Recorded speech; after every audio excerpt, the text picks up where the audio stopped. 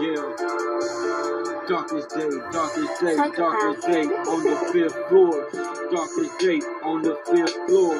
I couldn't lie, it seemed like I was in the midst of the worst criminals. I ain't gonna lie, I was in the midst of all these guys and these homosexuals and killers, and I was in the midst of them. I didn't even have a bunk, I was on the floor, and they had a knife.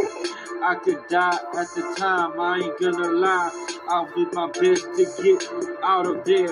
I put it on the machine. I said, You gotta get me out of here before I get murdered. I know I did what I had to do, but I got to tell the good things about it. Yeah, it was okay, it was alright, but I just was uncomfortable at the time being with murders and all these other people in there, so it was crazy. I ain't gonna lie, the stakes were higher. I gave something, I got a big old knot of coffee. Yeah, yeah, and it was crazy. And I got blessed like I ain't never got blessed. It blessed me with a full blooded spread. What? The whole thing. And gave me the bread.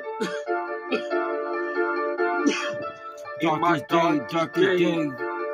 Fifth floor, fifth floor, when I was locked up. Now I got to tell you story how I got there.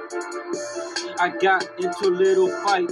I guess it was Christmas Day, and there was a lady that I was with, and she was kind of fat.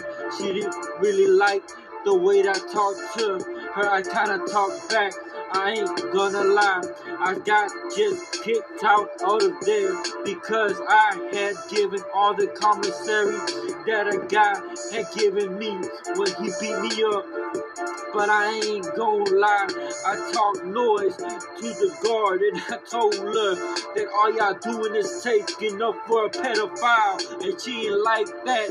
So she put me in the midst of criminals and people that were murdered in my darkest day, darkest day, fifth floor, Chapter. chapter,